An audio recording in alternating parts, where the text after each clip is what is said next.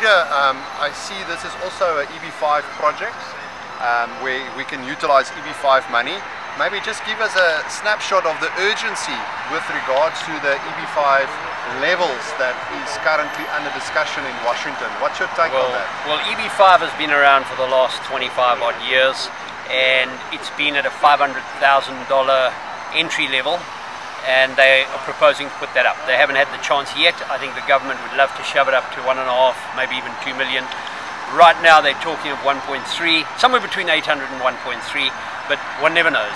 We have a certain amount of time left on these developments to get the people in and get it going, after which the price will go up. There's no doubt. So all that means is really if you want a green card right now, it's $500,000.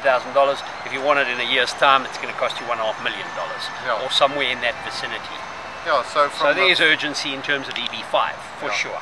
So what's unique about these projects that if you get uh, EB5 um, green card at 500,000, you can still then stay in the deal as a normal investor, which is quite a unique. Absolutely. It's absolutely unique and it makes a lot of sense from an investment perspective. Yeah. All of our projects, the EB5, are based on on true yields and returns rather than just getting a green card. The green cards decide, funnily enough, projects are economically sound, economically viable with good yields. Thank you, Peter.